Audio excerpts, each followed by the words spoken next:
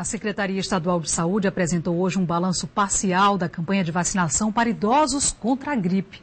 Até agora, o Acre é o terceiro estado do país em cobertura vacinal. Mais de 76% da população idosa já foi vacinada. A primeira fase da campanha de vacinação contra a gripe na pessoa idosa começou no dia 25 de abril.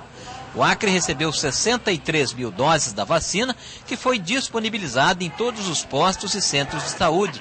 Em alguns casos, os agentes de saúde foram às casas vacinar os idosos. Na primeira fase, o Acre foi o estado que alcançou o maior percentual de vacinação em 14 dos 22 municípios, atingindo a 63% da população. Nos primeiros 15 dias, foram vacinadas 32.392 pessoas, o que equivale a 76,68% da população de 42.241 idosos existentes no estado. Os números parciais foram apresentados pelo secretário de Saúde durante coletiva nesta segunda-feira.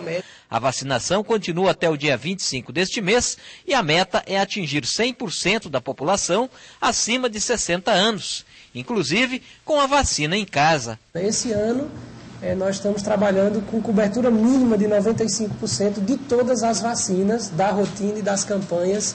É, o Acre já está trabalhando com essa meta, que é uma meta que é superior à meta do Ministério mas é uma meta que a gente acredita que consegue atingir, primeiro porque é, uma, é um percentual que dá segurança de cobertura, né? primeiro isso, e segundo que eu acho que a gente já tem demonstrado ao longo desse tempo que a nossa estratégia de vacinação tem melhorado a cada ano.